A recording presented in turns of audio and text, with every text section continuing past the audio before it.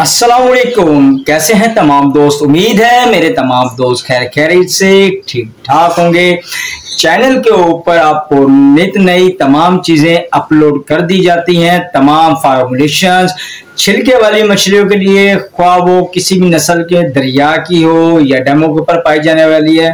چار سے پانچ کامن نسلیں ہوتی ہیں۔ ان کے شکار کے لیے جناب بہترین طریقے اور اس کے اوپر بنانے کا تمام تر جو اس کے اندر انگریڈینٹس چاہیے ہوتے ہیں، وہ چینل کے اوپر اپلوڈ ہیں۔ تو گزارش ہے کہ جن دوستوں نے ابھی تک چینل کو وزٹ نہیں کیا، تو اپنے فائدے کے لیے چینل کو وزٹ کریں اور بہتر رزلٹ پائیں دوستو، شکار کے اندر ایک چیز کپور کچری استعمال کی جاتی ہے۔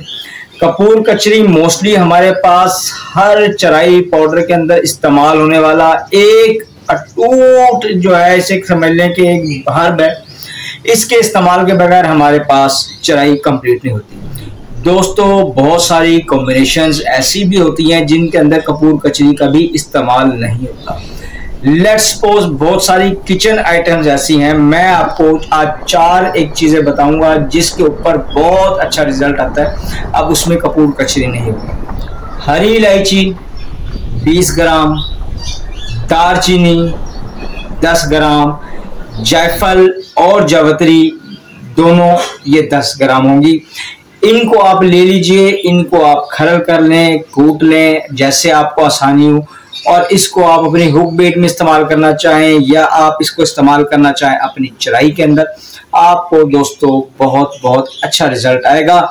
بس شرط یہ کہ چیزیں جس وقت بھی یہ آپ نے یوز کرنی ہے کرنٹلی شکار پہ جب آپ نے جانا ہے، اس کو سٹور نہیں کرنا، اسی وقت تازہ آپ نے اس کو کوٹنا ہے اور اس سے آپ کو بھرپور بھرپور بھرپور فائدہ ہوگا۔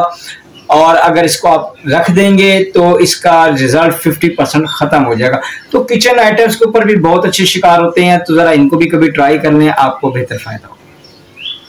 دوستو، یہ شکار کے لیے چرائی پاؤڈر، کھل باکھڑا اور لاگ یہ تینوں چیزیں آپ دیکھ رہے ہیں۔ کم وقت میں شکار کے لیے بہترین اور مؤثر چیزیں تمام چھلکے والی مچھلیوں کے لیے کھیلیں اور فائدہ اٹھائیں۔ کوئی کلو کھل لینے کی ضرورت نہیں، بالکل آسان، سادہ طریقہ ہے۔ دو کپ سرسوں کی کھل لے لیے جی یہ دیکھیں، دو کپ سرسوں کی کھل لے لی ہے اس کے اندر آدھا کپ سے بھی کم یعنی چوتھا حصہ۔ آپ نے ایک کپ کا چوتھا سا برڈ فیڈ لے لینی یہ ڈال دی ہے میں نے برڈ فیڈ۔ اسی کے ساتھ یہ چوکر آپ دیکھ رہے ہیں۔ چوتھا حصہ ایک کپ کا، اس کے اندر جناب ہم نے چوکر کا ڈال دیا۔ اس کے اندر جو گھروں میں استعمال بالکل ٹوٹا باریک چاول ہوتا ہے۔ چوتھا حصہ ایک کپ کا وہ ڈال دیا۔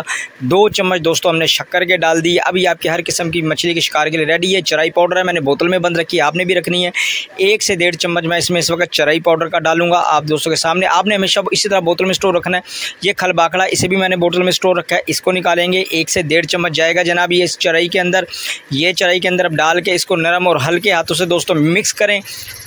اور اس کو بوتل کے اندر آپ نے بند کر کے رکھ لینا جب پوائنٹ کے اوپر پہنچے، اس طریقے سے اپنی بوتل سے نکالیں، جتنا چاہیے اس کے اندر آپ نے چاول لینے ہیں۔ جتنے آپ کو چاول اس وقت موقع کے مناسبت سے چاہیے، چاول ملاؤ۔ ارجنٹ اسی ٹائم بار بار چرائیاں بنانے کی ضرورت نہیں ہے۔ بس بوتل پڑی رہے، صرف چاول ابال کے لے کے جائیں اور اس کو جناب آپ پوائنٹ پہ جا کے اس طرح سے ڈھیلے ہاتھوں سے رگڑیں۔